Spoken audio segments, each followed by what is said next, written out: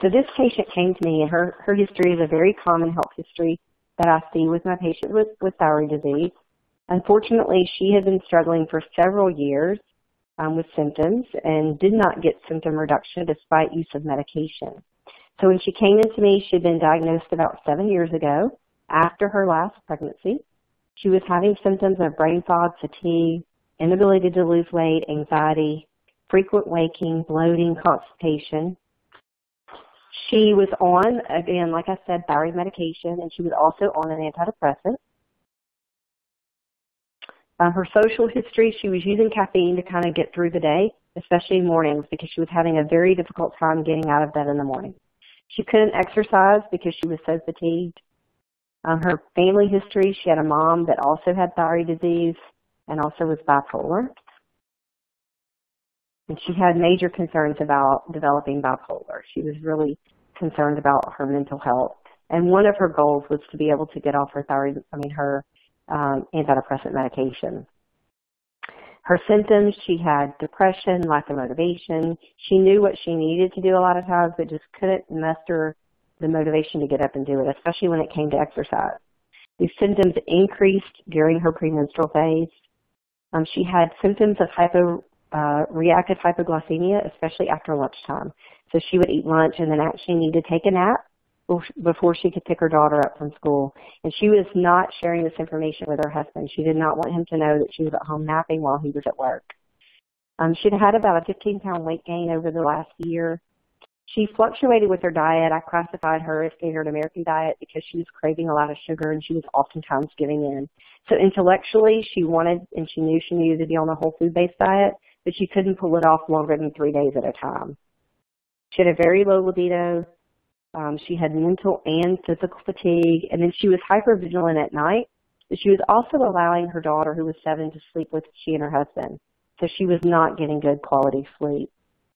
Her vital signs were somewhat normal, with the exception of she had 30, 37% body fat, despite her BMI not really being that elevated. So when we look at testing for her, we did a, a wide array of testing um, so that we could see what was going on with her metabolically. Um, again, she was on thyroid hormone. Despite being on thyroid hormone, she had a normal TSH, but a low T4 and T3. So her TSH was not being responsive. And I'll show you why in a little bit when we look at her um, neurotransmitters.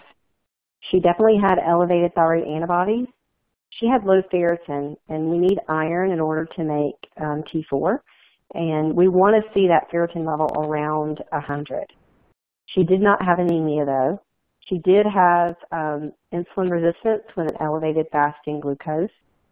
Um, she had low vitamin D, and vitamin D is an immune modulator. So we definitely want to improve her vitamin D status.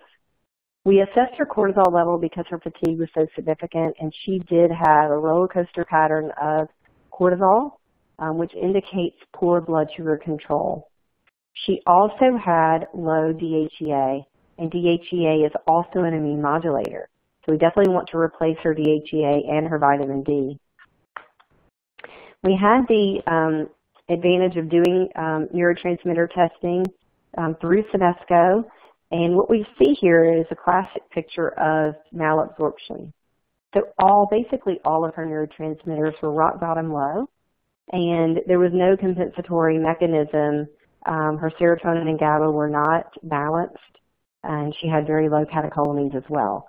So when we have low serotonin and low catecholamines, we would expect her, that her TSH is going to be unreliable and, and not a good measure of what's going on at the tissue level with her thyroid hormone. We also did a gut analysis. Um, she was gluten positive and she had, had been on a gluten-free diet. We also assessed um, some labs through a, a lab company called Cyrex, and I'll show you those in a minute. But it's a way of assessing gut permeability and we also assessed for other food sensitivities beyond just gluten. And we looked at immune markers and antibodies to other tissues other than thyroid because she really wanted to know predictively what she was at risk for long term in the way of autoimmunity. On her gut testing, she also had low digestive enzymes and she had lots of inflammation in the small intestine. And again, that's where you're going to absorb all of your nutrients primarily, um, especially your minerals and your B vitamins. So very important for um, nutrient status for her. So again, Cyrex Labs is a lab that does testing for autoimmunity, and they do have a panel called a Cyrex Array 2 that's specific for leaky gut.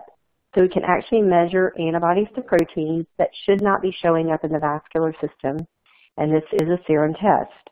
So she definitely had markers for leaky gut that looked like um, transcellular and paracellular damage, along with um, gram-negative bacteria markers. And so she had established leaky gut going on. In her food panel, again, we tested for foods beyond gluten, and what we found was just about everything we tested her for, she was positive for, for sensitivity. And so we had to do a major food elimination for her. Um, this is showing us that the immune system is just not happy. So a lot of this is cross-reactivity and probably not true sensitivity to these foods. We had her remove those from her foods in her treatment plan. Again, we also did a Cyrex test that looked at predictive autoimmune markers. And I'm showing you this because we have a before and after, and I just want you to see what a gut protocol um, can do to help improve the risk for progressive autoimmunity. So what we did with this patient is, again, she did that 21-day metabolic cleanse. After the cleanse, we started her on a gut protocol that included hydrochloric acid. We wanted to make sure she could denature her proteins. She was on probiotics, colostrum, and then we put her on neurotransmitter support using Sanesco formulas, again, because they have enzymes in there, they're easy to absorb. We started her on Lentra and Prolint, and then in a few weeks we added some ProCyte D. Um, we had her remove those foods that she was sensitive to, and we had her eating basically a whole food-based diet. We did have to be careful with her because her serotonin was so low. She could not tolerate a low-carb diet, right? We had to have those carbs to be able to stimulate serotonin production. So we had to just be careful about healthy carbs. We implemented some stress management. Again, it all starts in the brain, so if we don't deal with the brain's response to stress, we may, may not see healing or complete resolution. We also had her get the daughter out of the bed. Sleep is super important, and we're not going to repair and recover as long as there's not good quality sleep. And we started her on a B-complex and Hemovite. I'll also mention with her, we did do a short-term um, six weeks of IV therapy weekly in order to build up her nutrient status um, because she just wasn't able to absorb on her own with the diet that we had her on. Her follow-up testing that we did, we looked at that Cyrex Array 2, and again, it was completely clean after gut protocol, which is always a victory um, because we know that we've reduced her risk for developing progressive autoimmunity. And then just for kicks, we repeated um, that protocol, we repeated that um, autoimmune test for cross-reactive responses to um, tissues. And so what we noticed with her is that most of those antibodies that she had to tissues went back to normal, with the exception of three things. And so we definitely decreased momentum in her immune system. I'll also note that she was able to wean off of her Effexor, and we also changed her Armour thyroid over to WP thyroid because WP thyroid is natural desiccated thyroid similar to Armour, except it does not have any fillers or cornstarch. And the fact that she was reacting to all those foods, we made sure that we um, got those influences out of her diet plan. So like I mentioned before, a lot of times with these patients with hypothyroidism that's autoimmune derived, Hashimoto's, they've been looking for a while. They've been struggling. Before she got to me, she had spent seven years of having symptoms that were not resolved by medications. We had to dig a little bit deeper. So I love this cartoon. You know, we've exhausted all conventional measures. One last desperate option is to put you on an alternative natural medicine that has a 96% success rate. So again, why do we wait to the very, why do we wait until we're, we're completely miserable before we succumb to lifestyle changes?